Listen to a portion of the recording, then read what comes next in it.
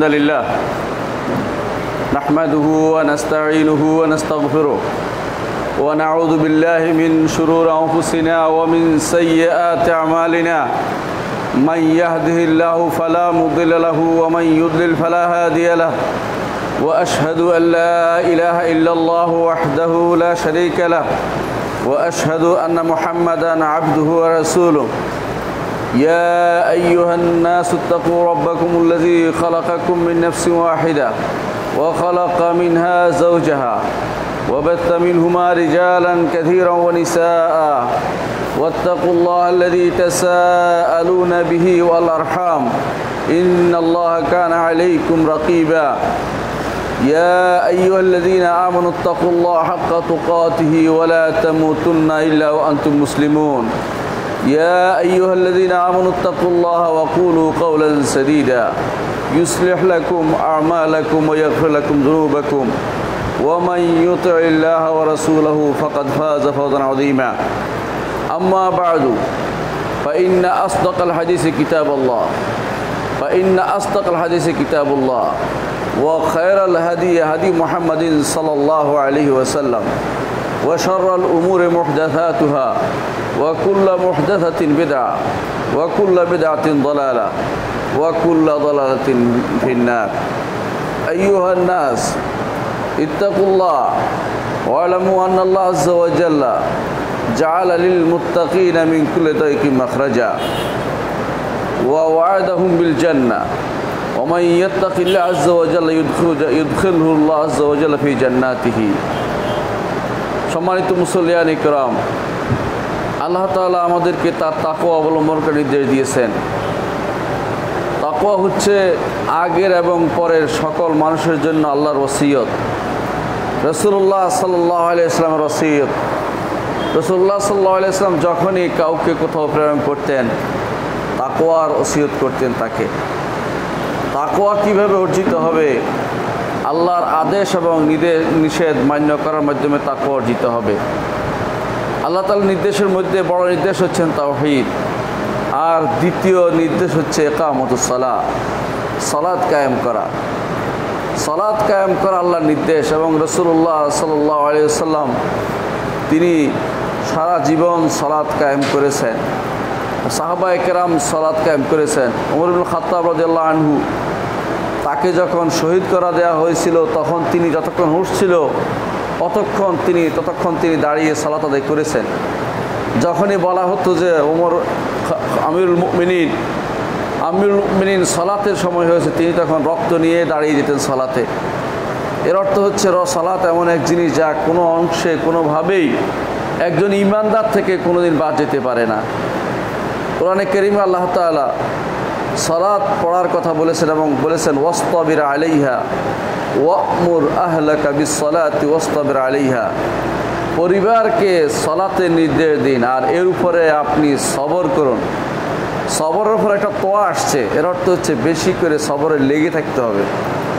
কারণ বিভিন্ন কারণে আপনার, আমার সলাৎ নষ্ট হয়ে যেতে পারে এই জন্য কষ্ট করে লেগে থাকতে হবে। এই সলাৎ হচ্ছে আপনার এবং আল্লাহর মাঝে সেতু বন্ধন। আল্লাহর আবাদতের মধ্যে বড় আবাদত হচ্ছে সলাৎ সলাতের মধ্যে সব আছে। সলাতের মধ্যে জিকির আছে। সলাতের মধ্যে দোয়া আছে। সলাতের মধ্যে আল্লাহর প্রশংসা আছে। সলাতের মধ্যে আল্লাহর কাছে সবচেয়ে বিনয়ের ভাবটা আছে। আল্লাহর কাছে রুকু করা আছে, সেজদা করা আছে। কোন জিনিস নেই, সলাতে সবই আছে। সুবহান আল্লাহ আছে, আলহামদুলিল্লাহ আছে, আল্লাহ আকবর আছে লাইলা ইল্লাল্লাহ আছে, সব আছে সলাতের ভিতরে। এক সলাদ যেন আপনার যাবতীয় আবাদতের জন্য আপনাকে আল্লাহ তালা এই সলাদ দিয়ে আপনাকে দুনিয়াতে ধন্য করে দিয়েছেন। আজকে আমরা এই সলাৎ নিয়ে আলোচনা করতে চাই। সলাৎ সম্পর্কে এটা বলাই যথেষ্ট সলাৎ হচ্ছে নূর। এমন এক নূর যে নূরের মাধ্যমে সলাৎ পড়লে আল্লাহ তালা আপনার এবং আপনার মধ্যে এমন এক আলো দিবেন যে আলো দিয়ে আপনি বুঝতে পারবেন হক এবং বাতিলের পার্থক্য আল্লাহ তালা আপনার মধ্যে দিবেন। আপনার মধ্যে হক এবং বাতিলের পার্থক্য করার ক্ষমতা দিয়ে দিবেন। এই সব হচ্ছে প্রথম আলো যে আলোর মাধ্যমে অন্ধকারকে দূরীভূত করবেন। দুনিয়ার বুকে আপনার চেহারাকে আল্লাহ তালা শুভ্র করে দিবেন। আপনার চেহারাকে আল্লাহ তালা শুভ্র করে দিবেন। সলাতের মাধ্যমে কবরের অন্ধকার দূর হবে। কবরে যে অন্ধকার, সেখানে কোনো বাতি নেই। কোনো সন্দেহ নেই, কোনো মানুষ সেখানে কোনো বাতি পাবে না। উপরে অনেকেই দেখবেন বিভিন্ন জায়গাতে বাতি জ্বালাইছে, বিদ্যুৎ লাইট জ্বালাইছে, কোনো লাভ নেই। এইটা কবরওয়ালার কোনো উপকার হচ্ছে না। বরং এইটা হচ্ছে বেদাত। রসুল্লাহ সাল্লাহ আলিয়াল্লাম লানত করেছেন, যারা এরকম বাতি জ্বালাবে, যারা এরকম ঘর বানাবে, তাদের লানত করেছেন। অথচ আজ বিভিন্ন জায়গায় দেখবেন কবরওয়ালার উপরে বিশাল পট্টালিকা তৈরি হয়ে গেছে। বিশাল বিল্ডিং তৈরি হয়ে গেছে তার উপরে কূপ বা গম্বুজ নির্মাণ হয়ে গেছে। এসবই উপরে করলে উপরে করলে নিচের কোনো লাভ হচ্ছে না। বরং অনেক সময় সেটা কষ্টকরও হবে। আলী রাজিউল্লাহ আনহু এক লোককে দেখেছেন যে তিনি কবর ঠেস দিয়ে বসছেন। তিনি বললেন যে, কবর কবর তার ঠেস দিয়ে বসানো নিষিদ্ধ। অন্য এক হাদিসে এসেছে রসোল্লা সাল্লাহ সাল্লাম বলেছেন এয়া সাহেবা সিবতিয়ে তাইন হে ছোটি জুতা পরে ভাটা যে হাঁটছ, তুমি জুতা খুলে ফেলো। এর অর্থ হচ্ছে কবর উপরে কিছু দিলে কবরওয়ালারা কষ্ট হয়। কিন্তু আমরা সেটা না বুঝে কবরওয়ালার যত কিছু পারি, তার উপর অনেক পাকা করে ফেলি পুরা। এবং এর উপরে অনেক কিছু করে, পানি ডালে গোলাপ জল ডালে কোনো লাভ নেই। কোনো লাভ নেই। কবর অন্ধকার ঘর, সে অন্ধকার ঘরে একমাত্র আলো দিবে আপনার আমল। আপনার আমলের মধ্যে বড় আমল হচ্ছে সলাদ সলাদ যদি ঠিকমতো আদায় হয়, আপনার কবরে আলো হবে। আবু দারদার রাদিয়াল্লাহু আনহু বলেন, সল্লু লিজুলমাতিল কবর। রাতের অন্ধকারে রাতের অন্ধকারে যখন অন্ধকার ছেয়ে আসে, কোনো দেখা যায় না, কেউ দেখে না। একান্ত আপনি এবং আল্লাহর মাঝে সে অভিশাপ সেখানে যদি আপনি দুই রেখা সলাত আদায় করেন আবু দরদারা দিল আনু বলেন, রাতের কবরের অন্ধকার দূর হওয়ার জন্য সেটা একটা বিরাট উপকারী কাজ হবে। এই জন্য একজন সাহাবীর কথা সেটা। তিনি সেটা বলেছেন যে, যদি কোনো রাতের অন্ধকারে সলাত আদায় করতে পারেন, কবরের অন্ধকার দূরীভূত হয়ে আলোকিত হবে সেখানে। আপনার আমার উপকারে আসবে এই সলাৎ কবরে গেলে। এই জন্য কবর আপনার জন্য নূর। কবর আপনার জন্য আরেক নূর হচ্ছে আল কবর আপনার জন্য চাক চিকচিক করে আপনার কবর মুসল্লির কপালে চিকচিক করবে কে আমাদের মাঠে। দেখতে পাবে যে এই সলা এই ব্যক্তির সলাত আদায়কারী নূর। রসুল্লাহ সাল্লাহ আলিয়াল্লাম বলেছেন আসলাতু নূরুন। সলাত হচ্ছে আলো। এই আলো দুনিয়া থেকে শুরু করে আখেরাত পর্যন্ত। পুরো রাস্তায় আলো। দুনিয়ার বুকে আপনার জন্য আলো, ভালো এবং মন্দকে আপনি পার্থক্য করবেন সলাতের মাধ্যমে। তেমনিভাবে কবরে গেলেও আপনি আলো পাবেন। হাসরের মাঠে উঠলেও আলো পাবেন। আপনি আলোর মাধ্যমে থাকবেন যদি সলাত আপনি ঠিকমতো আদায় করতে পারেন। এটাই হচ্ছে সলাত নূর অর্থ। রসুল্লাহ সাল্লাম আরও বলেছেন আর সলাত বুরহানুন। সলাত হচ্ছে প্রমাণ। কিসের প্রমাণ? প্রমাণ হচ্ছে যে এই লোকটি ইমানদার ইমানদারের প্রমাণ হচ্ছে সলাৎ যেই ব্যক্তি সলাৎ আদায় করবে না, তার ইমান থাকবে না। এই জন্য রসুল্লাহ সাল্লাহ আলাইসাল্লাম বলেছেন আল্লাহদুল্লাজি বাইনানা ও বাইনাহমদ সালাহ ফমান তারা কাফাকাত কাফারা। আমাদের মধ্যে আর কাফেরদের মধ্যে অঙ্গীকার হচ্ছে সলাতের। সলাৎ ছেড়ে দিলে সে কাফের হয়ে যাবে। কারণ তার নূর নাই, তার বুরহান নাই, তার প্রমাণ নাই, আলো নাই। একজন মানুষ সলাৎ আদায়কারী হলে আল্লাহর পক্ষ থেকে তার মধ্যে আলো আলো আসে। সে আলোটা আপনি না দেখলেও বলতে পারেন যে কালো মানুষের তো আলো দেখি না। আপনি না দেখলেও সেটা তার আচার আচরণে প্রকাশ পাবে। কীরকম? সেটা আলোকিত হবে, আলোকিত করে দেবে তার কর্মকাণ্ডকে। সে ভালোটাকে ভালো বুঝতে পারবে, খারাপকে খারাপ বুঝতে পারবে। অনুরূপভাবে সলাৎ আপনার জন্য চেহারার উজ্জ্বল্য নিয়ে আসবে। দেখুন, আল্লাহ তালা মোহাম্মদ রসুল্লাহ সাল্লাহ সাল্লাম এবং তার সাথীদের বর্ণনা দিচ্ছেন আল্লাহ তালা বলছেন, মোহাম্মদুর রাসুল্লাহ ওয়াল্লাদিন মাহু আশিদ্দা ওয়ালাল কুফার রহমা উবাইনাহুম মোহাম্মদ আল্লাহ রাসুল, মোহাম্মদ আল্লাহ রাসুল ওয়াল্লাদিন মাহু আর তারা, তার সাথে যারা আছে, তারা আশিদ্দা আলাল কুফার কাফেরদের উপর কঠোর রোহামা উবাইনাহুম তাদের নিজেদের মাঝে অত্যন্ত দয়াদ্র, দয়ালু আলো আচরণ করে তারা। তারাহুম রুকান সুজ্জাতান ইয়াবতাগুনা ফাদলা মিনাল্লাহ রিদওয়ানা। আপনি তাদেরকে দেখতে পাবেন, তারা রুকু অবস্থায় আছে, সেজদা অবস্থায় আছে। আল্লাহর সন্তুষ্টি কামনা করে যাচ্ছে তারা, আল্লাহর পক্ষ থেকে।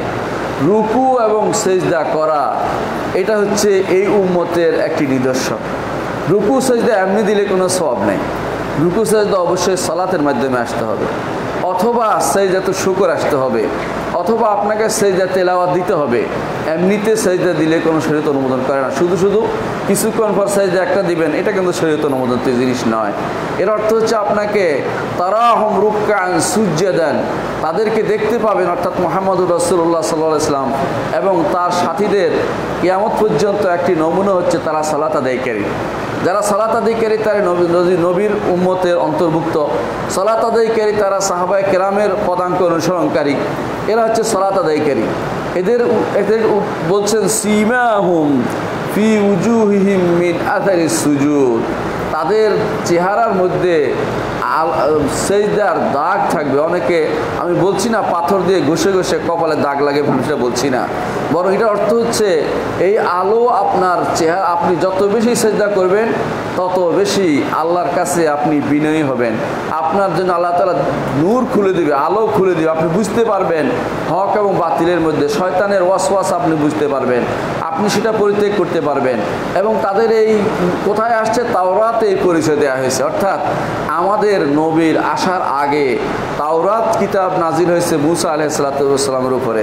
সেখানে এই উম্মতের একটি গুণ বর্ণনা করা হয়েছে যে তাদের চেহারার মধ্যে সেজদার সেজদার দাগ থাকবে।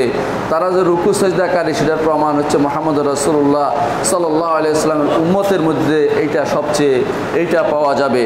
এই জন্য কেউ কেউ বলেছেন অর্থ হচ্ছে যে সলাৎ তাদের চেহারাকে সুন্দর করে দিবে। এটাও পরীক্ষিত সত্য।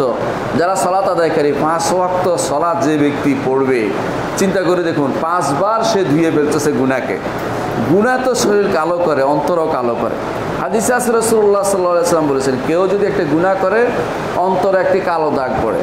এক সময় কালো দাগ পড়তে পড়তে সেটা একেবারে পুরোটাই কালোতে ছেয়ে যায়। এটা হচ্ছে কাল্লা বাল রান আলা কুলবি মা কানু ইকসিবুন অন্তরের মধ্যে সেটার একটা এমন একটা মরিচা পড়ে যায় যে দেখার মতো। অর্থাৎ সেটা দেখে আপনি বুঝতে পারবেন না কীভাবে সেটা থেকে মুক্তি পাবেন। সালাতের মাধ্যমে আপনার সেই চেহারা শুভ্রতা ফুটে উঠবে। ইবরা আব্বাস রাদিয়াল্লাহু বলছেন, তার মধ্যে একটি উত্তম চরিত্র দেখা যাবে সলাত আদায়কারীর মধ্যে। মুজাহিদ রহমতুল্লাহ আলী বলেছেন, এর অর্থ হচ্ছে সীমা উমফি উজু মিন সুজুদ। এর অর্থ হচ্ছে খুশু খুদু সহ যত বেশি সলাত আদায় করবে, তত বেশি বিনয়ী হবে। যত বেশি আল্লাহ প্রতি চেষ্টা করবে, তত বেশি বিনয়ী হবে। এবং আল্লাহ তালা তাকে বিনয়ী বাপটা তার জন্য লিখে দিবেন। এই জন্য দুনিয়ার বুকে একজন মানুষ যখন সলাত আদায়কারী হয়, তার চেহারায় শুভ্রতা ফুটে ওঠে, বুঝতে পারে সলাত আদায়কারী। আর যে বেনামাজি, যে দুনিয়া আল্লাহ দিনের কোনো খোঁজ রাখে না, তার অবস্থা ভিন্ন হয়ে থাকে। মানুষ দেখেই বুঝতে পারে কত খারাপ মানুষ। তাকে দেখেই বুঝে যে নূরের আলো নেই। তার মধ্যে চেহারাতে আলো নেই, অর্থাৎ যে সলাত আদায়কারী, সেটার কোনো প্রমাণ তার মধ্যে পাওয়া যাচ্ছে না। রসুল্লাহ সাল্লাহ আরেকটি হাদিস যে আখেরা তো আখেরা তো এই সলাত আপনাকে আলো দিবে। রসুল্লাহ সাল্লাহ আলাইসলাম বলেছেন বাশিরিল মাশাইন ফি যুলামিল মাসাজিদ বিন নূরি তাম ইয়াউমাল কিয়ামা মসজিদের দিকে যারা অন্ধকারে হেঁটে যায়, আজ তো অন্ধকার লাগে না, আপনাদের বিদ্যুতের আলোতে সব কিছু স্পষ্ট, তারপরেও মানুষ যেতে চায় না। অথচ রসুল্লাহ সাল্লাহ আলাইসলাম যারা অন্ধকারে মসজিদ দিকে যাবে, তাদের জন্য সুসংবাদ দিয়েছেন। কি সুসংবাদ দিয়েছেন? বিন নূর ইত্তাম ইয়মল কিয়ামা। কেয়ামতের দিন তারা পূর্ণ আলো পাবে। কেয়ামতের দিন তারা পূর্ণ আলো পাবে। কোথায় সে আলো পাবে? কেয়ামতের মাঠের আলো, তারপরে অন্ধকার যখন হবে, যখন পার হতে হবে ফুলসেরাত তখনও তারা আলো পাবে। যখন পিছনের লোকদের বলবে, পিছনের লোকরা ডেকে বলবে আনজুরু না নাফতা বিসমিন নূরিকুম। দাঁড়াও না একটু ভাই, তোমাদের নূর থেকে কিছু নেব। আমরা তো পার হইতে পারছি না, মুনাফেকরা সেটা বলবে। কিলের জো ওরা আকুম বলা হবে, পিছনের দিকে ফিরে দেখো, ওখানে নূর পাও কিনা। আমাদের নূর তোমাদের কোনো কাজে লাগবে না। ঠিক তারা পিছনের দিকে ফিরবে, ইতিমধ্যে ইমানদাররা পার হয়ে যাবে আর মুনাফেকরা নিচে পড়ে যাবে। ইমানদারদের আমল অনুসারে তাদের নূর পাওয়া যাবে। কারও কারও আলো জম, আলো নিববে আর উঠবে। যত কম আমল, যত কম সলাৎ তত আলো কম। যত বেশি সলাৎ তত আলো বেশি। অত বেশি আলো হবে। অর্থাৎ রসুল্লাহ আসলাম হাদিস তিনি বলেছেন বাশিরিল মাশাইন ফি জুলামে ইলাল মাসাইদ বিন নূর ইত্তাম ইয়াউমাল কিয়ামা। কিয়ামতের দিন পূর্ণ নূরের সুসংবাদ দিন, যারা অন্ধকারে মসজিদ দিকে যাবে। অথচ অন্ধকার লাগে না, এখন আপনারা যেতে পারেন, তারপরেও যাওয়া হয় না। এর উদ্দেশ্য হচ্ছে মসজিদ দিকে যাওয়াকেই এত গুরুত্বপূর্ণ আলোর কারণ বর্ণনা করা হয়েছে।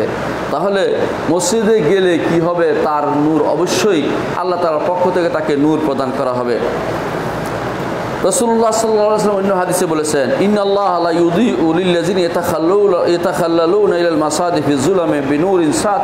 কিয়ামা।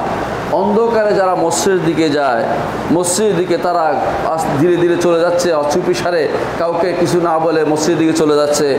কেয়ামতের দিন আল্লাহ তাআলা তার জন্য উজ্জ্বল আলো, নূর বর্ত- আলোকবর্তিকার ব্যবস্থা করবেন কেয়ামতের দিন। এর অর্থ হচ্ছে সলাৎ আপনার জন্য দুনিয়া তো আলো আখেরাত আলো আখেরাত আলো। অন্য হাদিস আছে রসুল্লাহ সাল্লাহ আলাইসাল্লাম বলেছেন, আবদুল্লাহ ইবনে আমর আসাদুল্লাহ বর্ণনা করেন রসুল্লাহ সাল্লাহ আলাইসাল্লাম একদিন সলাতের কথা উল্লেখ করলেন।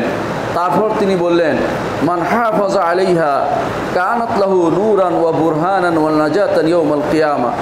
যেই ব্যক্তি এই সলাদগুলো যথাযথভাবে হেফাজত করবে, অর্থাৎ সলাদগুলোকে আদায় করবে তার তার ফরজ ওয়াজিব মেনটেন করে, তার সময় মেনটেন করে, যেভাবে আল্লাহ তার রসুল বলেছেন, সেইভাবে সলাদগুলো যারা আদায় করবে, মহাফাজা করবে, একটাকে আরেকটা সময় নিয়ে যাবে না টাইম মোতাবেক আদায় করবে। দেরি করবে না, যেটা আমরা করে থাকি, সেটা না করে সময় মোতাবেক সালাদগুলো আদায় করবে। তার কি হবে? পুরস্কার হচ্ছে কান আতলাহ নূরান। তার জন্য আলো হবে বোরহান আন এবং প্রমাণ হবে ইমানের, যে ইমানদার ছিল সে। ও নাজাতান ইয়মল কিয়ামা। নাজাতের কারণ হবে। আমরা একটু পূর্বে জেনেছি নাজাতের কারণ কি। রসুল্লাহ সাল্লাহ সাল্লাম বলেছেন মানুষের মধ্যে ইমানদারদেরকে প্রথম যে হিসাব সম্মুখীন হতে হবে, তা হচ্ছে সলাতের। যদি ফরজ সলাতে কোনো ঘাটতি হয়, নফল সলাত নিয়ে তা পূর্ণ করা হবে। কিন্তু যদি ফরজ, নফল সলাতেও যদি পূরণ করতে না পারে, তাহলে তার আর কোনো কিছু করার থাকবে না। অর্থাৎ সে হতভাগে হতভাগে অন্তর্ভুক্ত হয়ে যাবে। তখন ইমানের কারণে জান্নাতে গেলেও সুপারিশ লাগবে, কত কিছু লাগবে, কত তার বিড়ম্বনার কোনো শেষ নেই। কিন্তু সলাদ যদি ঠিক থাকে, প্রথমবার যদি পাশ করতে পারেন, পরবর্তী জায়গাটুকু অনেক সহজ হয়ে যাবে। এই জন্য রসুল্লাহ সাল্লামের বাণী, তিনি বলেছেন, যে ব্যক্তি এই সলাদকে যথাযথভাবে হেফাজত করবে, তার জন্য সেটা নূর হবে, আলো হবে, বোরহান হবে, প্রমাণ হবে, নাজাতের কারণ হবে কেয়ামতের মাঠে। ওয়ামাল্লাম ইউহাফিজ আলাইহা, যেই ব্যক্তি এইটাকে, এটার উপর হেফাজত করবে না লামিয়াকুল্লাহ নূর, সে কোনো আলো পাবে না, ওলা বোরহান, সে তার সে ইমানদার, তার কোনো প্রমাণ দিতে পারবে না। ওয়ালা নাজাতান, কেয়ামতের মাঠে সে নাজাত নাজাতও পাবে না। ওয়াকানা ইয়মাল কিয়ামতি, কেয়ামতের দিন তার হাসর হবে মা কারুনা ও হামানা ও ফেরাউনা ও উবাইবনে খালা সেদিন তার হাসর হবে কারুনের সাথে। কারুন চিনেন আপনারা?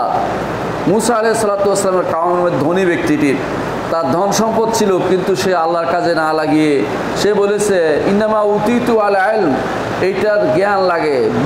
টাকা পয়সা জোগাইতে, টাকা পয়সা অর্জন করতে বুদ্ধি লাগে, এগুলি বলছে। অর্থাৎ এগুলি আল্লাহ যে দিয়েছে, এটা স্বীকার করে নাই। আল্লাহ তালা বলছেন ফাঁকাসাফনা বিহি ওয়াবিদা আর্দ। তাকেও ডুবিয়ে দিলাম, তার বাড়িঘর সবে ডুবিয়ে দিলাম। সেটা ডুবতেই থাকবে, সেটা কোনোদিন আর সে কোনোদিন পাবে না, কেউ পাবে না। আল্লাহ তালা এটা দিয়ে কাউকে উপকৃত হওয়ার পর্যন্ত সুযোগ করে দেননি। আর হামান, সে ছিল ফেরাউনের মন্ত্রী। আর ফেরাউন উবাইবনে খালাফ হচ্ছে এই উম্মতের মধ্যে ফেরাউনের মতো অবস্থা যার। রসল্লাহ সাল্লাহ ইসলামের বিরোধিতা করতো, মক্কা ইমানদারদের বিরোধিতা করতো। এরকম যারা সলাৎ পড়বে না, তাদের হাসর হবে ওদের সাথে। এর অর্থ হচ্ছে সলাৎ না পড়া জাহান নামে কাফের হওয়ার কারণ। কাম কাফের হলেই শুধুমাত্র এদের সাথে থাকার প্রশ্ন আসে। ইমানদার কখনো কাফের সাথে থাকার কোনো কথা আসে না। কারণ আল্লাহ তালা বলেছেন, আফানা জালুল মুসলিমিন একাল মুজরিমিন? মা আলাকুম কাইফা তাহকুমুন? আমি কি অপরাধীদেরকে ইমানদারদের সাথে একরকম করব? তোমাদের কি হলো? তোমাদের কোন বিচার সেটা? এর অর্থ হচ্ছে, যেই ব্যক্তি সালাত মোটেই আদায় করবে না সেই ইমানদার নয়। তার হাসর হবে কাফেরদের সাথে। তার হাসর হবে হামান, কারুন, ফেরাউন এবং উবেবনে খালাবের সাথে। অন্য হাদিসে রসুল্লাহ সাল্লাহ বলেছেন, মা মিন উম্মতি মিন আহাদিন কিয়ামা। আমার উম্মতের মধ্যে প্রত্যেকটি মানুষকে, প্রত্যেকটিকে আমি কেয়ামতের দিন চিনতে পারব। সুবহান আল্লাহ আল্লাহ তালা যেন আমাদেরকে সে নবীর চিনার ব্যবস্থাপনা করে দেন। রসুল্লাহ সাল্লাম বলছেন, কেয়ামতের মাঠে তিনি চিনতে পারবেন। তখন সাহাবাই কেরাম বললেন ওকাইফা তাহরুফহম ইয়া রসুল্লাহ আপনি তাদেরকে কীভাবে চিনবেন?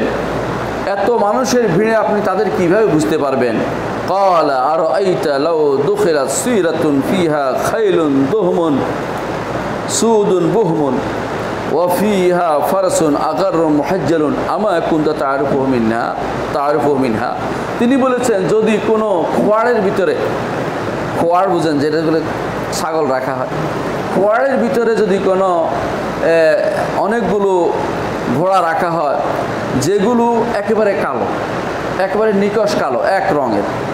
এর ভিতরে যদি কোনো কোনো ঘোড়া থাকে, যে ঘোড়া আগার কপালে আলো, আর যেই ঘোড়ার হাতে পায়ে আলো, অর্থাৎ সাদা, শুভ্র।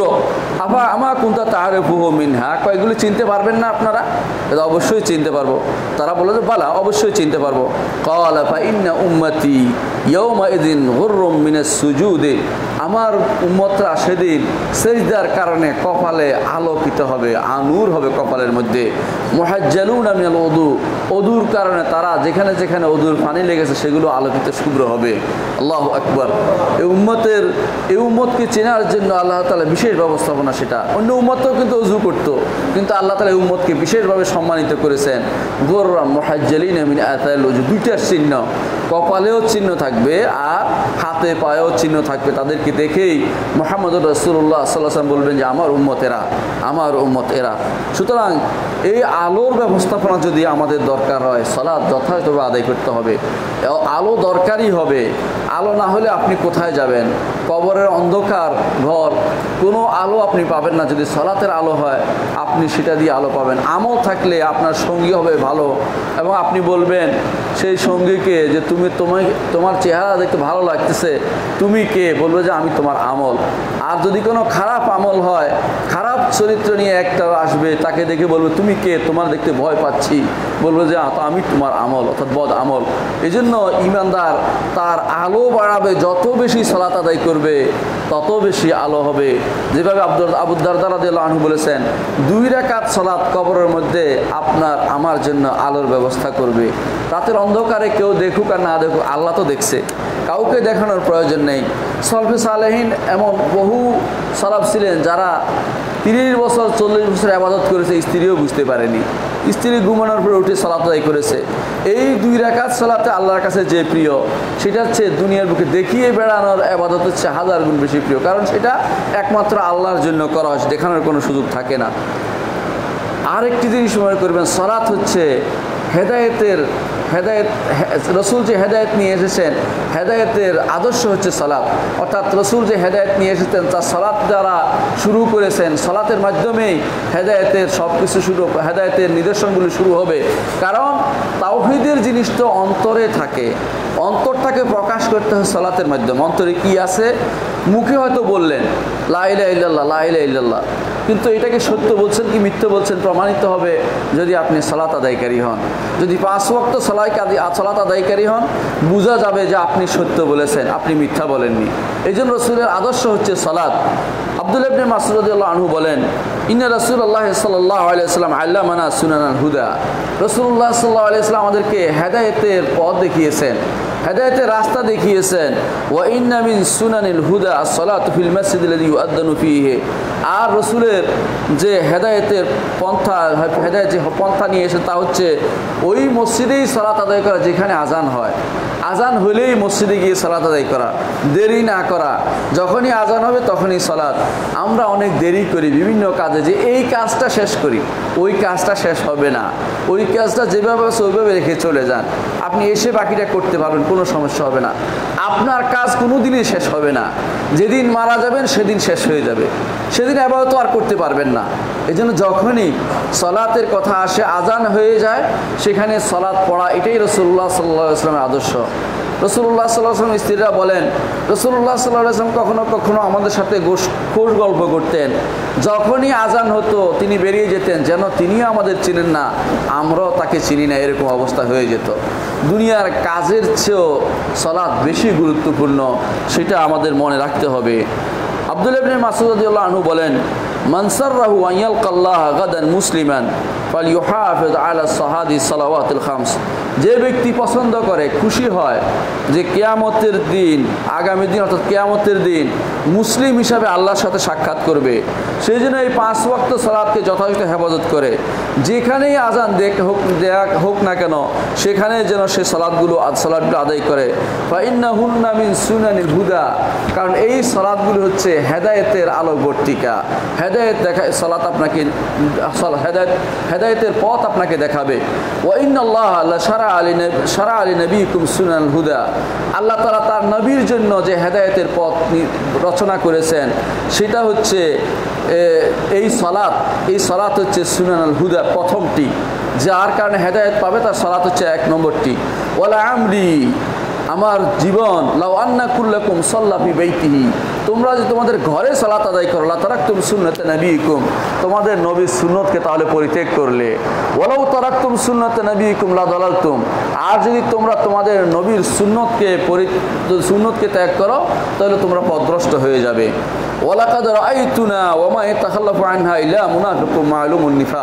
তিনি বলছেন আব্দুল্লাহ ইবনে মাসউদ রাদিয়াল্লাহু আনহু যে আমি দেখেছি আমাদেরকে, আমাদের মধ্যে কেউ সরাতে কেউ দূরে থাকে না। আজান দিলে সবাই মসজিদে আসতো। যদি আসতো না ওই ব্যক্তি, যে ব্যক্তি মোনাফেক, যার মোনাফেকি মানুষের কাছে জানা আছে, সেই শুধুমাত্র মসজিদে সালাতের জন্য আসতো না। ওয়ালাকাদ রাআইতুর রাজুলা ইউহাদি বাইনার রাজুলাইনি। আমি এমন লোককেও দেখেছি, দুইজনের উপর ভর করে মসজিদে হাজির হয়েছে। হাত্তা ইয়দুলা পিসাফে কাতারে ঢুকেছে এসে।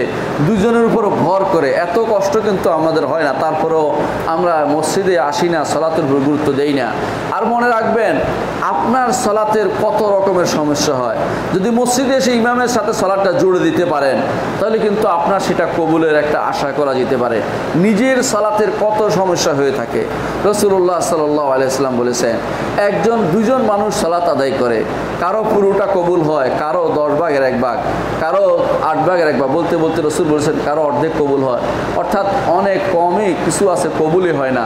তাহলে দেখা গেল যে একজন মানুষের সালাদ কবুল হওয়ার জন্য একটা বড় সুযোগ হচ্ছে মসজিদের দিকে এসে জামাতে শরিক হওয়া। এই জন্য সালাদ হচ্ছে আমাদের জন্য রসুল্লাহ সাল্লাহ আলিয়াল্লামের যে পথ আমাদেরকে দেখিয়েছেন দুনিয়ার বুকে, তার মধ্যে প্রথম আদর্শ হচ্ছে সালাদ এটাকে যথাযথ হেফাজত করতে হবে। আমার রবের পক্ষ থেকে সালাত আমার রবের পক্ষ থেকে বিশেষ অনু, বিশেষ দান। বিশেষ দান বিশেষ দান বুঝেন কিনা? আপনাকে অনেক কিছু দিয়েছে, বিশেষভাবে একটা জিনিস দিয়েছে। এইটার নাম হচ্ছে বিশেষ দান। বিশেষ দান হিসেবে আল্লাহ তালা সালাদকে দিয়েছেন। দেখুন আল্লাহ তালা এই সালাদ ফরজ করেছেন কোথায়? আকাশে। আকাশে নিজে ফরজ করেছেন। মাধ্যম দিয়ে নয়, জিব্রিলের মাধ্যমে নয়। কোনো মাধ্যম সেখানে তিনি কাজে লাগাননি। সরাসরি নবীকে ডেকে নিয়ে হাদিয়া দিয়েছেন সালাদটা নবীকে ডেকে নিয়েছেন। এই মহান সফরে, এই মেয়ারাজের সফরে তিনি ডেকে নিয়েছেন। মেয়ারাজের সফরে ডেকে নিয়ে তাকে সালাদটা দিয়েছেন। আর কিছু তো না। পঞ্চাশ ওয়াক্ত সালাদ দিয়েছিলেন। কমাতে কমাতে পাঁচ ওয়াক্ত করেছেন। বলেছেন, যে কেউ পাঁচ ওয়াক্ত পড়বে, তার জন্য আল্লাহ তালা পঞ্চাশ ওয়াক্তের সওয়াব লিখে দিবেন। এ হচ্ছে কত বড় সৌভাগ্য আমাদের। আমাদের রবের পক্ষ থেকে বড় অনুদান, বড় দান, বড় বিশাল আমাদের জন্য একটা পুরস্কার হিসাবে আল্লাহ তালা আমাদেরকে এই সলাদটা দিয়েছেন। রসুল্লাহ সাল্লাহ কোনো মাধ্যম দিয়ে এই সলাৎ নেননি, আল্লাহর কাছ থেকে। সরাসরি কথা বলেছেন। কথা বলেছেন পর্দার অন্তর থেকে আল্লাহ এবং তার রসুল। আল্লাহ তালা কোরআনে করিমে বলেছেন, তার সাথে আউহা ইলা আবদিহি মা আউহা আল্লাহ তালা যা ইচ্ছা করেছেন, তার বান্দার দিকে তা ওহি করে পাঠিয়েছেন। এবং রসুল্লাহ সাল্লাম হাদিসে এসেছে যে, মাকান কাবা কাউসাইনে আদনা পর্যন্ত গিয়েছেন রসুল্লাহ সাল্লাহ আসলাম আল্লাহ তালা তাকে সলাতের জিনিসটাই রেখে দিয়েছেন। আরগুলির কথা কিছু বলা হয়নি কোনো হাদিসে। এর অর্থ হচ্ছে, সলাতে হচ্ছে এত গুরুত্বপূর্ণ একটি জিনিস, যার কারণে নবীকে মেয়ারাজে ডেকে নিয়ে দেওয়া হয়েছে। এই জন্য সেই মহান রাত্রির মহান যে দান, সেটা হচ্ছে সলাদ এটাকে যথাযথ হেফাজত করা আমাদের জন্য কর্তব্য। সলাদ আর কি আর কি আমাদের জন্য আর কি নিয়ে এসেছে? সলাতের মাধ্যমে আল্লাহর নেয়ামতের সুক্রিয়া আদায় করতে পারি আমরা। আল্লাহর নেয়ামতের সুক্রিয়া আদায় করে কোনোদিন আমরা শেষ করতে পারব না। আল্লাহ তালা বলেছেন, ওয়াইন তাউদ্দু নেয়ামতাল্লাহ তকসুহা তোমরা যদি আল্লাহর নেয়ামতকে গণনা করো, তাহলে গুণে কোনোদিন শেষ করতে পারবে না। আল্লাহর নেয়ামত গুণে শেষ করতে পারবেন না কোনো দিন না। একজন মানুষের কত কিছু তার আছে, ওই সময় বুঝে যখন অসুস্থ হয়। অসুস্থ হলে বুঝে, এর আগে বুঝতে পারে না। বিশ্বাস করুন, আপনার যদি হাতে ব্যথা হয়, বুঝবেন তখন যে হাত বোধহয় সবচেয়ে বড় নেয়ামত। কারণ ব্যথা হয়েছে বলে বুঝছেন। চোখে ব্যথা হলে চোখ বোধহয় সবচেয়ে বড় নেয়ামত। দাঁতে ব্যথা হলে বলতেন যে পৃথিবীর বড় কষ্টকর ব্যথা মতো দাঁতের ব্যথা। কিন্তু আপনি জানেন না, এটা একটা ছোট্ট জিনিস। এটা একটা ছোট্ট জিনিস। অনেক ভাই বিছানায় কাতরাচ্ছে, কিডনি নষ্ট হয়ে গেছে। ওই ন্যায়ামত সে আর পাচ্ছে না। অনেক ভাই আছে তার ন্যায়ামত চিনি খাওয়ার ন্যায়ামত উঠে গেছে। এখন সে আর চিনি খেতে পারে না। এই ন্যায়ামতে তার ছিল, সে বুঝে না যতক্ষণ ন্যায়ামতটা সে ভোগ করেছে। অনেক ভাই আছে চোখে দেখে না, অনেক ভাই আছে হাঁটতে পারে না, অনেক ভাই আছে পেশাবের সমস্যা, কত রকমের সমস্যা নিয়ে তখনই মানুষ বুঝে যখন ন্যায়ামতটা চলে যায়। এর আগে কিন্তু কেউ বুঝতে পারে না। এই ন্যায়ামতের সুক্রিয়া আদায় করার বড় মাধ্যম হচ্ছে সলাদ সলাদ যদি আপনি আদায় করতে পারেন, তাহলে আপনি সত্যি সত্যি আল্লাহর ন্যায়ামতের সুক্রিয়া আদায় করতে পারলেন। এই জন্য ইমানদারের সারা দিন সুক্রিয়া আদায় করার জন্য সারা দিন তাকে দেয় পড়ে থাকতে হতো। ফেরেস তারা কী করে? ইসবুন রাত দিন তারা আল্লাহর তাজবি পাঠ করে, একটু ক্লান্ত হয় না। কিন্তু ইমানদার কেন করতে আল্লাহ তালা আমাদেরকে ইস্তেফলাফের দায়িত্ব দিয়েছেন। পৃথিবীর বুকে আমাদেরকে আবাদ করতে হবে। পৃথিবীর মানুষ নিয়ে চলতে হবে। পৃথিবীর কাজ করতে হবে। এই জন্য আমাদের আল্লাহ তালা কমিয়ে দিয়েছেন। না হলে সারা সেই দেয় পড়ে থাকলেও আপনার, আমার, এই আল্লাহর নিয়ামতের সুক্রিয়া আদায় করা হবে না। কারণ আল্লাহর নিয়ামত এত বেশি যে আমার সেই দাদা তা কোনোদিন সম্পন্ন হবে না। এই জন্য আল্লাহর নিয়ামত, আল্লাহ তালার নিয়ামত যে এত বেশি হওয়ার কারণেই আল্লাহ তালার জান্নাতে যেতে হলে আপনি ওই আমল দিয়ে যেতে পারবেন না। কারণ আমল দুনিয়াতে বহুত আগেই আপনি যে ন্যায়ামত দিয়েছে এর তুলনায় আমল একবারে, একেবারে কিছু নস্যি বরং ন্যায়ামতের তুলনায় আমল কম হয় আল্লাহ রহমত দিয়ে আপনি আমল করেছেন দেখেই আল্লাহ খুশি হয়ে আপনাকে জান্নাত দিবেন। সুতরাং আল্লাহকে আল্লাহ জান্নাতে যে নিয়ামতের বিনিময় দিতে পারবেন এমন কোনো কথা কেউ যেন না বলি। বরং কেউ পারবে না আল্লাহ তালার আল্লাহ তালার কোনো নিয়ামতের সুক্রিয়া আদায় করে দিতে পারবে না। একটা চোখের নিয়ামত পারবে না। যার চোখ নাই সে বুঝে। যার চোখ নাই সে বুঝে কতটুকু নিয়ামত। সে হারিয়েছে পাচ্ছে না বা সে কী কষ্ট করছে, সেটা সেই বুঝে। আল্লাহ তালা আপনাকে চোখ দিয়েছেন বলে হারামের দিকে তাকাবেন না। আল্লাহ তালা আপনাকে পা দিয়েছেন বলে হারামের দিকে দৌড়াবেন না। আল্লাহ তালা আপনাকে হাত দিয়েছেন সুস্থতায় হারামের দিকে হাত বাড়াবেন না। এটাই হচ্ছে কথা। কিন্তু আমরা উল্টাটা করে থাকি। এই জন্য আল্লাহর নিয়ামতের সুক্রিয়া আদায় করার জন্য সলাৎ একটি বড় মাধ্যম, যে আপনি যে কোনো অবস্থায় আপনি যখন সলাতের মধ্যে থাকবেন, আপনি রুকু করবেন, সেজদা করবেন তসবি পাঠ করবেন, অর্থাৎ আপনি সমস্ত আবাদতের কাজগুলো আপনি সলাতের মাধ্যমে করতে পারবেন। এই জন্য আল্লাহ তালা কোরআনে করিমে যখন তার নবীকে বলেছেন যে, ইন্না আতইনা কাকাল ইন্না আতইনা কাল কাউসার হে নবী, আমি ইচ্ছে আমরা আপনাকে কাউসার প্রদান করেছি। আল্লাহ তালা বহু বছর ব্যবহার করেন, তাহলে তিনি কারণ তিনি মহান। মহান তিনি, যিনি বহু বছর ব্যবহার করেন। রাষ্ট্রপ্রধানরা দেখবেন বলবে, বলে যে, আমরা বলছি। এর অর্থ তিনি একাই বলছেন। কেন বলে? যিনি মহান, বড়, তিনি ছোটদেরকে যখন সম্বোধন করে, নিজেকে বহু বছর ব্যবহার করেন। কোরআনে আল্লাহ তালা তা করেছেন। এটাই হচ্ছে বিশুদ্ধতম অর্থ। অন্যকে অন্য অর্থ করলে ভুল হবে। আল্লাহকে একজন বলছি বলে ভুল হবে। তিনি এক একাই একশো, একাই এক লক্ষ। তিনি এক, এই জন্য বহু শব্দ, বহু বচন ব্যবহার করেন নিজে। এটা বুঝতে হবে। এই জন্য আল্লাহ তালা বলছেন, আমরা আপনাকে কাউসার প্রদান করেছি। কাউসার কি? কাউসার হচ্ছে জান্নাতে এমন একটি প্রস্তাবন যা পানির ঝর্ণা দ্বারা মালিক হচ্ছেন রসুল্লাহ সাল্লাহ আলাইসাল্লাম হাসরের মাঠে সেই কাউসার থেকে হাউদের মধ্যে পানি আসবে। যাতে করে হাউদের পানি থেকে আমরা পান করতে পারি। প্রত্যেক নবীর হাউদ থাকবে, কিন্তু মূল স্রোতশ্রীর মালিককে মোহাম্মদুর রসুল্লাহ সাল্লাহ আলাইসাল্লাম এটাই হচ্ছে কাউসার। এত বড় ন্যায়ামত দেওয়ার পরে আল্লাহ তালা আমাদের কি তাকে কি বলেছেন দেখুন? ফাসল্লি রব্বিকা ওয়ানহার সুতরাং আপনার সলা আপনার রবের জন্য সলাত আদায় করুন। অর্থাৎ সলাত আদায় করলে আপনার ন্যায়ামতের সুক্রিয়া আদায় করা হবে। আল্লাহ আপনাকে যে ন্যায়ামত দিয়েছেন, সেটা সুক্রিয়া আদায় করা হবে। এই জন্য বলা হচ্ছে ফাসল্লিলে রব্বিকে। সুতরাং আপনি এত বড় ন্যায়ামত দিয়েছি, আপনি আপনার রবের জন্য সলাত আদায় করেন। এইটা বললে আপনি এটা করলে আপনার কিছু সুক্রিয়া আদায় করা হবে, পুরোপুরি না হলেও। রসুল্লাহ সাল্লাহ আলাইসলাম মক্কা বিজয়ের দিন মক্কা বিজয়ের দিন তিনি আবু উমেহানির ঘরে ঢুকলেন, বলেন যে উমেহানি হচ্ছে আবু তালেবের কন্যা। বলেন যে, আমি ঢুকে বললেন, গোসল করলেন। গোসল করে তিনি আট টাকা ছলাত আদায় করলেন। এই আট টাকা সালাত আর কিছু না, সেটা হচ্ছে, এটাকে বলা হয় সলাতুল ফাতহা। সলাতুল ফাতহা, বিজয়ের সালাত। বিজয় দিয়েছে আল্লাহ তালা বিরাট নিয়ামত দিয়েছে এই জন্য তিনি সলাতে দাঁড়িয়ে গেছেন। রসুল্লাহ সাল্লাহ ইসলাম এই জন্য সুক্রিয়া ব্যবস্থা করেছেন সালাতের মাধ্যমে। যখন কোনো কিছু হইতো দুই টাকা সালাত আদায় করতেন, ভালো কোনো খবর হলে সেজদা করতেন, সেজদা সালাতের একটা অঙ্গ। এই জন্য সেজদা তো শুকর করা হয়, যে সুক্রিয়া সেজদা করা, ভালো কিছু হলে কেন এটা সালাতের একটা অংশ? তাহলে বোঝা গেল সালাতের মাধ্যমে আপনি সুক্রিয়া আদায় করতে পারেন। মুগির সরবার শোরবা আল্লাহ আনহু বলেন রসুল্লাহ সাল্লাহ আলাইসাল্লাম তিনি রাতে এত বেশি দাঁড়াতেন যে তার পা ফুলে যেত। পা ফুলে যাওয়া বুঝেন কিনা? আপনি কিছুক্ষণ দাঁড়িয়ে কিছুক্ষণ বসেন সাধারণত এরকম।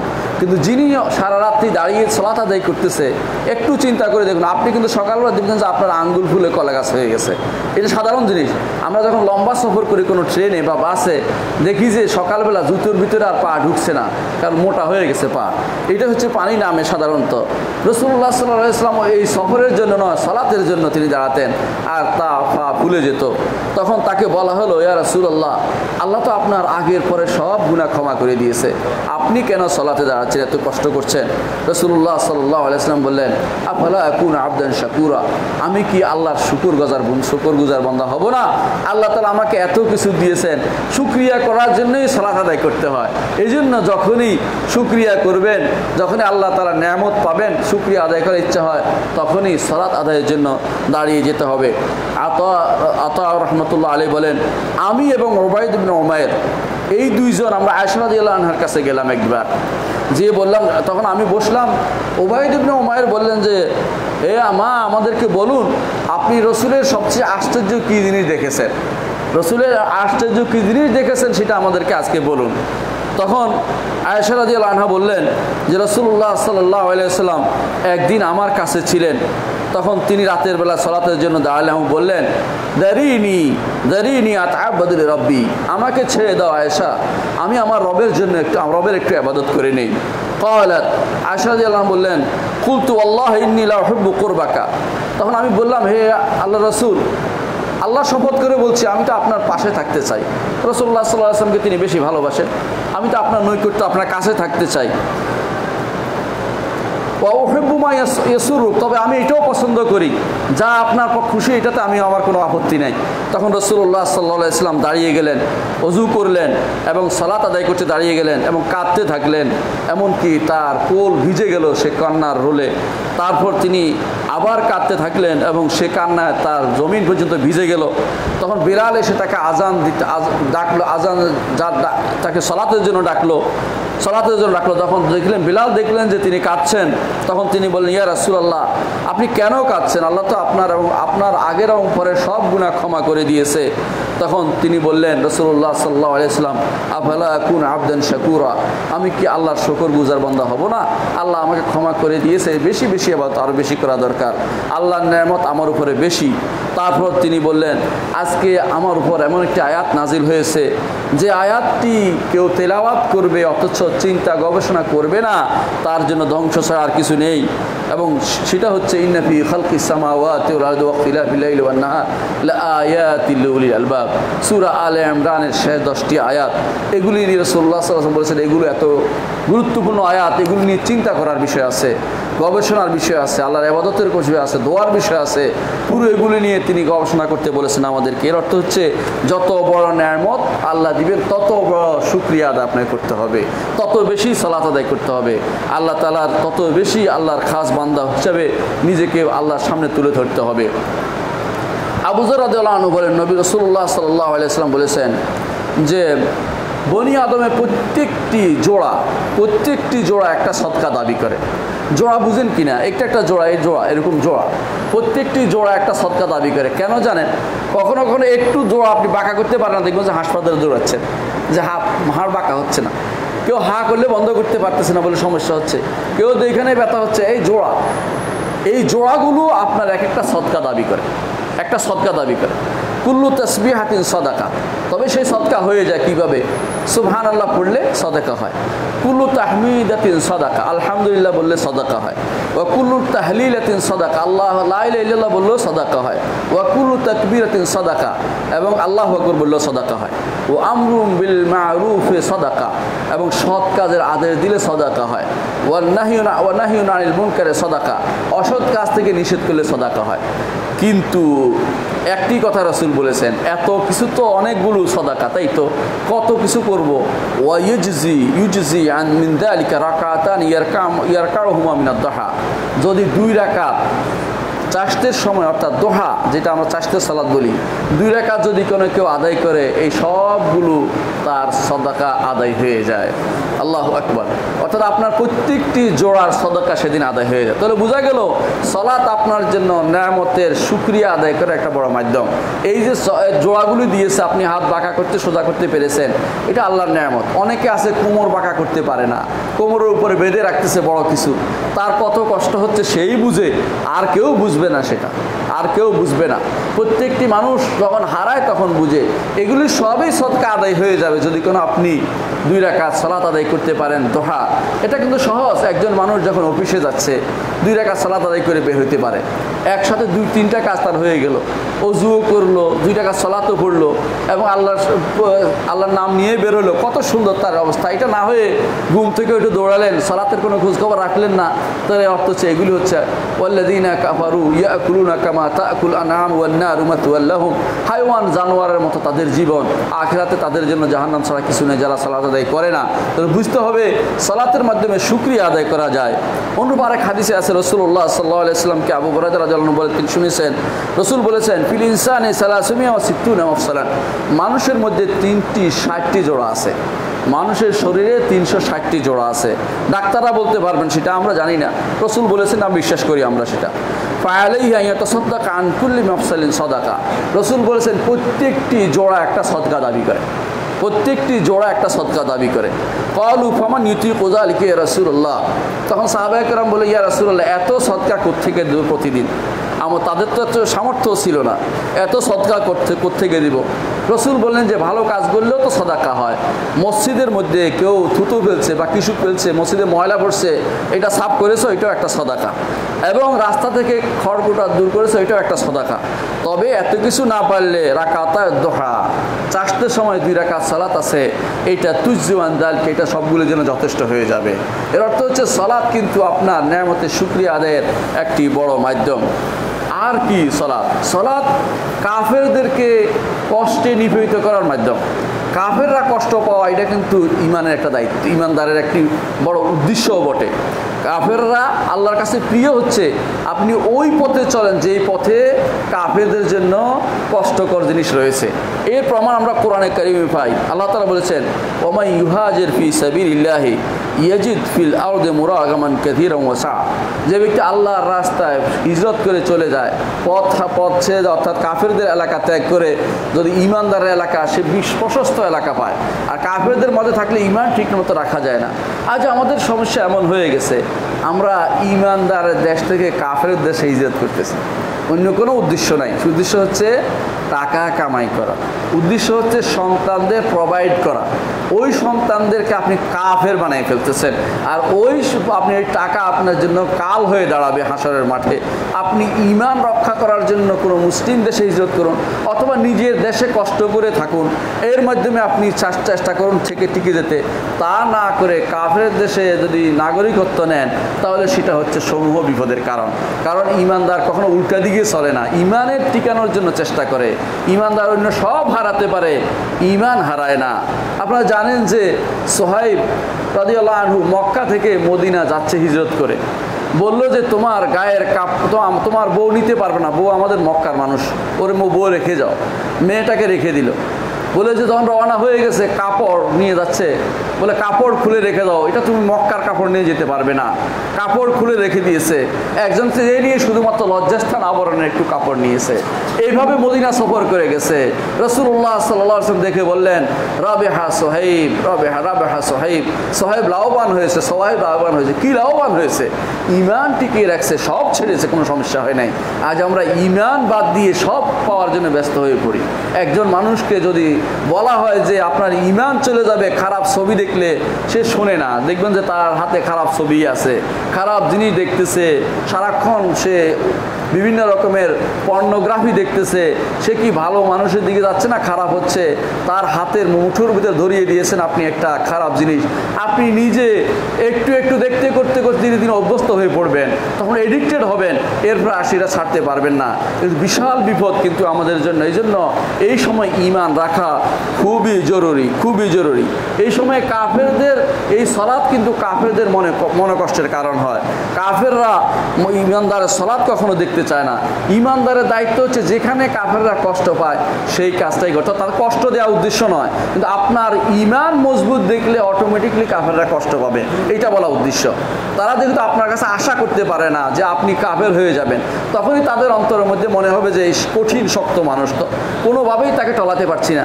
আজ আমাদের ইমান টলানো হচ্ছে বিভিন্নভাবে। একটি বিরাট গোষ্ঠী দেখবেন হাদিস অস্বীকারী। কোরআন নিয়ে আসে আর আরও আশ্চর্যের বিষয় হচ্ছে, তারা সাহস করে মানুষের সাথে ডিবেটও করে, কথাও বলে, এরা সুরের মতো থাকা উচিত। ইমানদার কখনো এটা বলতে পারে না। যারা হাদিস মানে না, তারা কাফের, ইমানদার নয়। ওদের সাথে কথা বলার যোগ্যতা রাখে না, ইমানদারের সাথে কথা বলার যোগ্যতা নাই ওদের। কারণ কাফের সাথে আমাদের কোনো সম্পর্ক থাকতে পারে না। সেখানে ডিবেটের কোনো প্রশ্নই আসে না। তো ইমাম মালিক রহমতুল্লাহ আলাই তার কাছে একজন এসে তর্ক বলে তোমার আপনার সাথে তর্ক করব। কি জন্য? এই বিষয় বিষয়ে।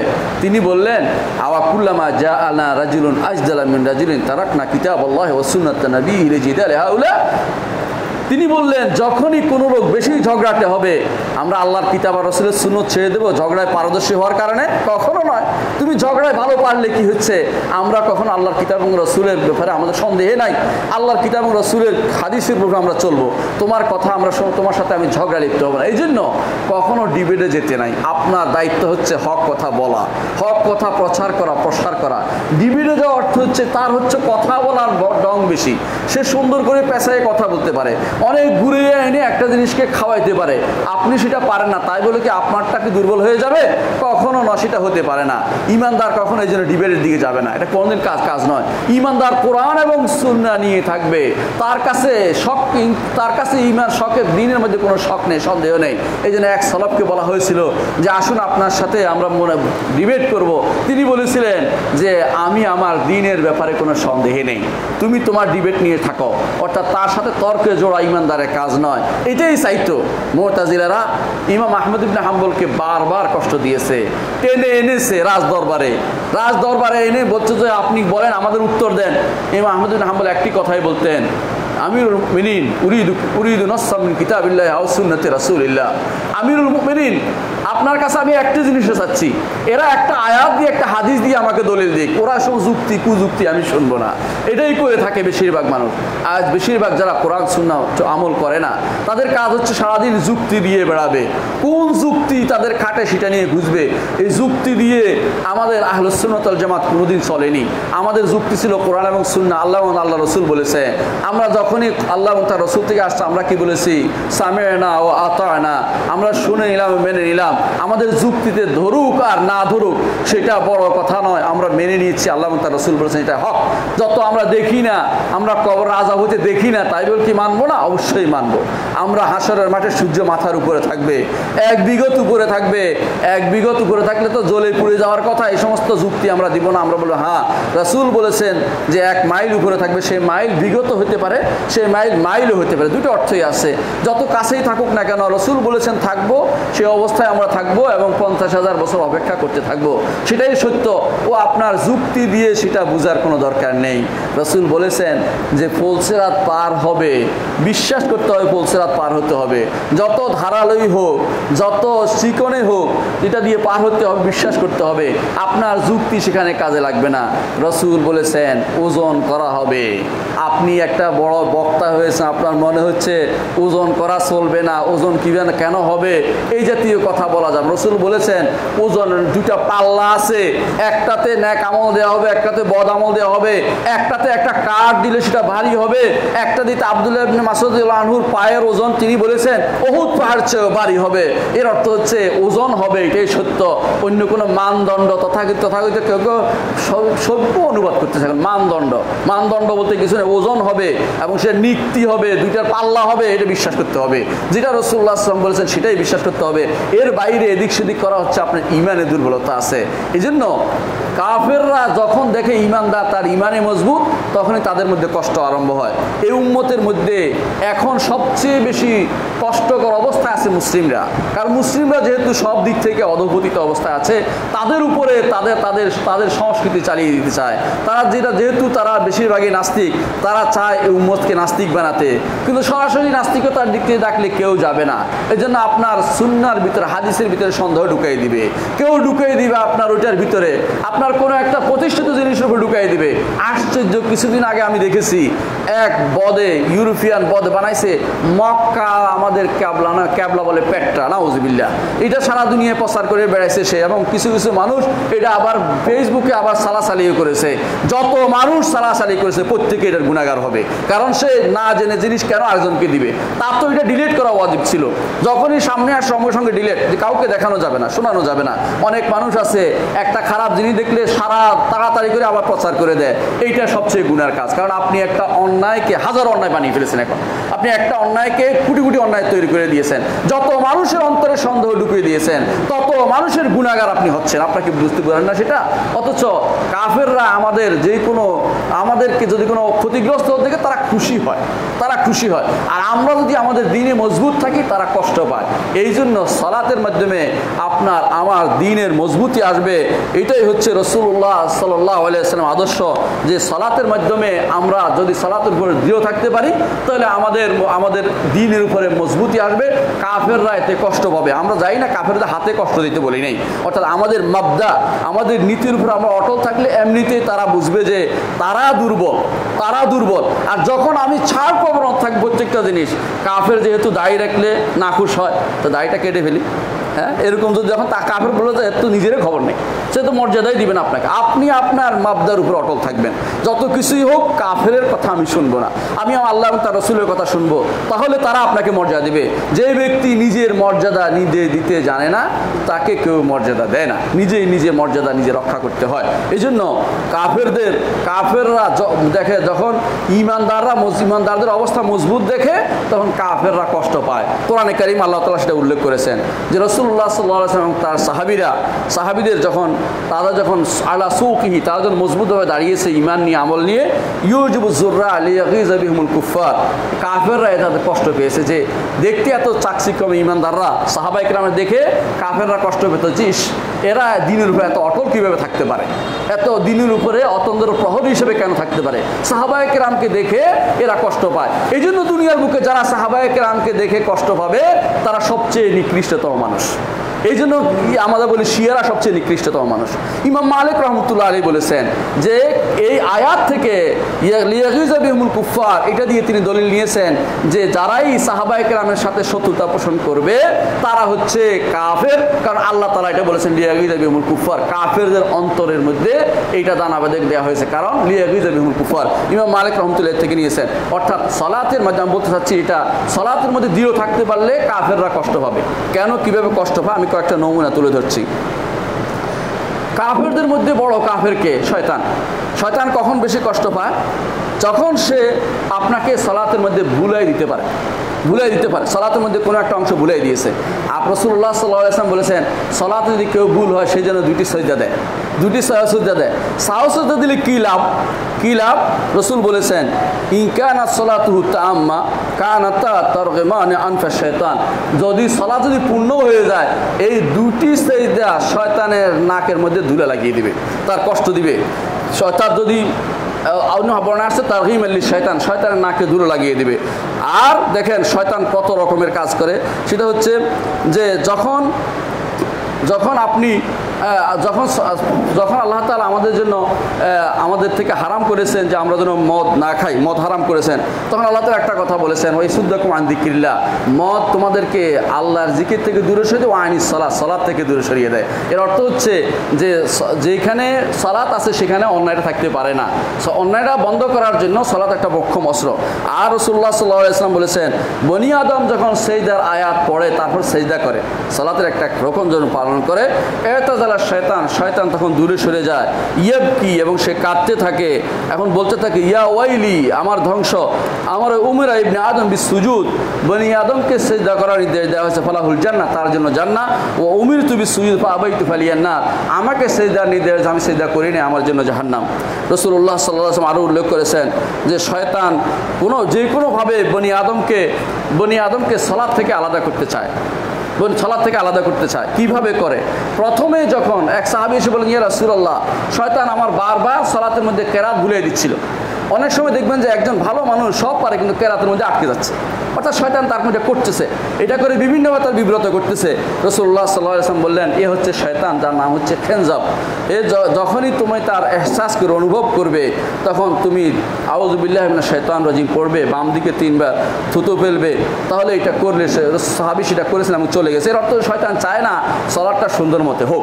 সন্ধ্যা সলাটটা সুন্দর মতো হলে তার কষ্ট হয় জন্য। অনুরূপভাবে রসুল্লাহ সাল্লাহ ইসলাম বলেছেন যে শয়তান যখন আজানের, আজান শুনে তখন পালাতে আরম্ভ করে, শব্দ করতে করতে। কেন শব্দ করে? যাতে করে আজানটা শুনতে না পায়। এই জন্য সে শব্দ করে। কি শব্দ করে বুঝছেন তো? পিছনে শব্দ করে তুলতে পালায় এই জন্য যাতে আজানটা শুনতে না পায়। তারপর যখন আজান শেষ হয় দৌড়ে এসে তার সুনত পড়ার মধ্যে ডিস্টার্ব শুরু করে দেয়। এরপরে যখন একামত হয়, তখন সে আবার পালাতে পালায় যায়। আবার ফিরে এসে তখন সলাতের মধ্যে তাকে দুনিয়ার সমস্ত কথা মনে করিয়ে দেয়।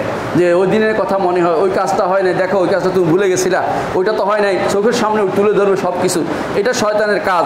এর মাধ্যমে শয়তান চায় আপনাকে সলাতে থেকে খুব অল্প অংশ নিয়ে আপনি যাবেন।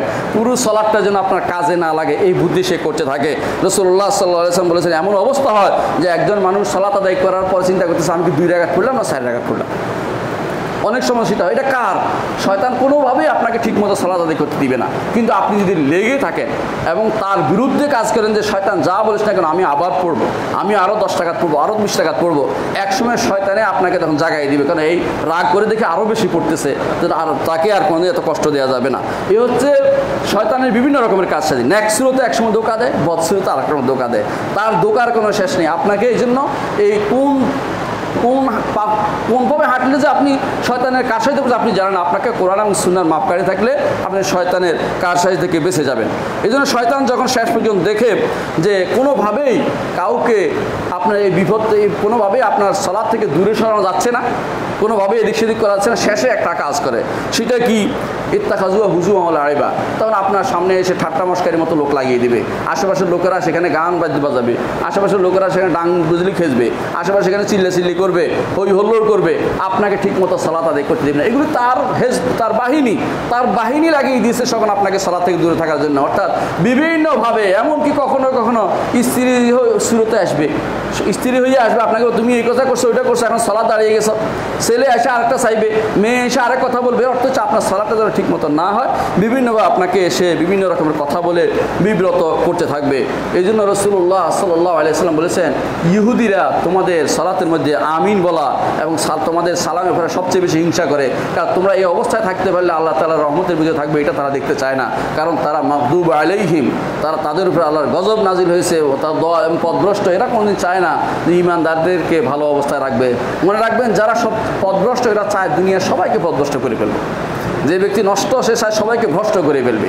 এই জন্য অনেক নারী দেখবেন আজ বিভিন্নভাবে টক শো জাল শুতে যারা আসে, এরা দেখবেন যে এমন এমন কথা বলে যে ঘর ছেড়ে দাও, নারীদেরকে পরামর্শ দিচ্ছে। হ্যাঁ? আমি এখন কি করি? এ যদি পর টেলিফোন করলে বলবে যে, ঘর ছেড়ে দিয়ে চলে আসো। এই জন্য বাপের দিনের ঘর যেমন ইচ্ছে এমনি সে তারপরে মেয়েটা সে পালবে, সে বের করতে সুযোগ, বের করে দেওয়া সহজ। কিন্তু একটা মেয়েকে আবার ঘরে তোলা অনেক কঠিন। একটা পরিবার ভাঙ্গা অনেক সহজ, কিন্তু একটা পরিবার টিকিয়ে রাখা অনেক কঠিন। অথচ তারা পরামর্শ দেয় সবসময় যে, ভেঙে চলে আসো, এগুলি শয়তানের কাজ হয়েছে আর কিছু। কারণ সে নিজেরও ঘর নাই। ভালো করে খোঁজ নিয়ে দেখেন, দেখবেন সেও এরকম কারও দ্বারা ভ্রষ্টা, কারও দ্বারা পথভ্রষ্ট হয়ে আছে, রাস্তার মধ্যে পড়ে আছে, কোথাও হয়তো মদ খেয়ে পড়ে থাকে, এরকম মানুষগুলি এরকম পরামর্শ মানুষদেরকে দিয়ে থাকে। শয়তান সবসময় আপনাকে বিভিন্নভাবে পথভ্রষ্ট করতে কোনোভাবেই আপনাকে ইমানের মধ্যে রাখার জন্য শয়তান আপনাকে দেখতে চায় না। এই জন্য সলাতের মধ্যে সুন্দরভাবে আপনার সলাতে এটাও চায় না। হাদিস আছে রসুল্লাহ সাল্লাহ আলাইসালাম বলেছেন, কখনো কখনো শয়তানের এসে দুই পায়ের মাঝখানে ফু দেয়। এরপর বলে তো অজু চলে গেছে। যাতে করে অজু ভাঙার জন্য আপনি দৌড়ান। এটাও কিন্তু শয়তানের এক কাজসাজি। রসুল বলেছেন, যতক্ষণ পর্যন্ত শিওর না হবে, অর্থাৎ গন্ধ অথবা আওয়াজ অথবা নিজে স্পষ্ট বুঝতে না ততক্ষণ পর্যন্ত এই সমস্ত এই সমস্ত কোনো বাতাসে তোমরা দৌড়াবে না, বরং তোমার সালাদ পূর্ণ করে নেবে। কারণ শয়তান তোমাকে বিভিন্নভাবে ক্ষতিগ্রস্ত করতে চায়। এই জন্য শয়তানের ওয়াসওয়াস থেকে বাঁচার জন্য সলাৎ একটি বড় মাধ্যম। সলাতের মাধ্যমে আপনি শয়তানকেও কাঁদাতে পারেন। কারণ সে আপনি সেজদা দিলে সে কাঁদবে।